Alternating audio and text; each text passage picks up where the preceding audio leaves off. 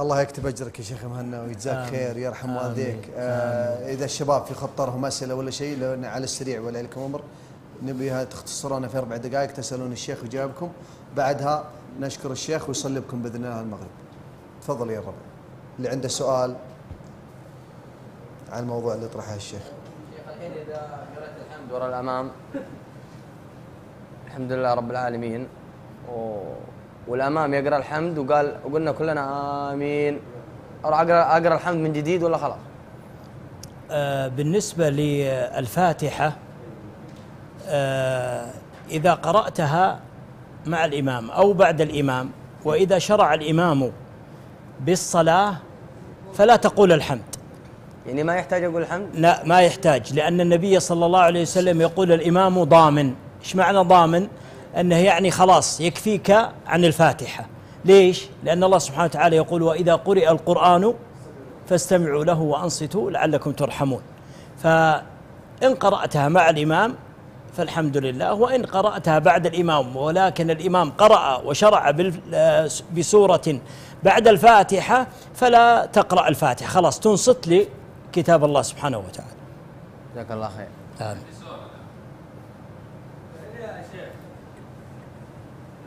الفاتحة أشوف البعض أنه ما يسمي قبلها. هل لازم إجباري أن نسمي البسملة مع الفاتحة؟ لا لا لا ليس واجب إنك تقول بسم الله الرحمن الرحيم. لكن الفاتحة ركن من أركان الصلاة. إي نعم نعم نعم. حد عنده سؤال يا ما شاء الله تبارك الله. إيش الابتسامة الحلوة هذه يا شيخ؟ الله يجزاك الجنة. الله يرفع قدرك. آمين يا رب. و... إي والله ما شاء الله تبارك الله. حتى تقول تشع نور. الله يجزاك الجنة. الله يبارك فيك يا آه، تبسمك في وجه أخيك صدقة.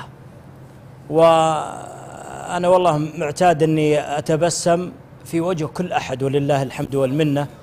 لأن بعض الإخوة الله يهديه بعضهم يكشر. والله صحيح وبعضهم تقل والله صحيح تقل بعضهم عاض على ليمونة كذا. لا ابتسم يا أخي ابتسم.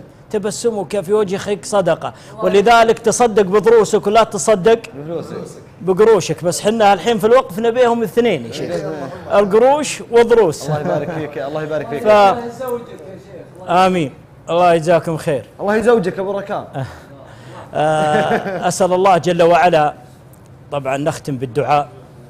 أسأل الله جل وعلا أن يديم على بلادنا الأمن والإيمان والسلامة والإسلام وأن يوفق ولي أمرنا خادم الحرمين الشريفين وأن يمتعه بالصحة والعافية وأن يشد عضده بولي عهده وأن آه، يديم الأمن والأمان على بلادنا وأن يحفظ رجال أمننا ويخص بالحفظ والنصر رجالنا المرابطين على حدود بلادنا.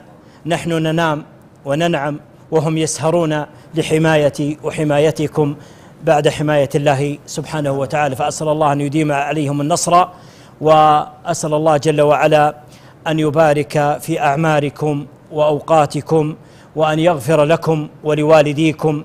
وأسأل الله جل وعلا لكل ميت وميتة المغفرة والرحمة. وأقول لكل من له ميت ويسمعنا خلف هذه الشاشات انقطع أملهم. انقطع عملهم وأنتم أملهم فتصدقوا عنهم بهذا الوقف 300 ريال. والله إن أحيانا بعضهم يروح لكفي يأخذ له كوبين أو ثلاثة أكواب مع زملاء يمكن فوق ال 200 ريال. الله الله والمطعم بعد بعد. والمطعم. 500 فكيف. في 300 ريال مدى الحياة؟ فأقول وأكرر أنتم أملهم بعد أن انقطع عملهم. أسأل الله جل وعلا أن يجعل قبورهم روضة من رياض الجنان. قولوا آمين. وصل اللهم وسلم وبارك على النبي المصطفى العدنان. يرحم والديك شكرا اللهم لك صل يا. شيخ مهنا. وبيض الله وجهك.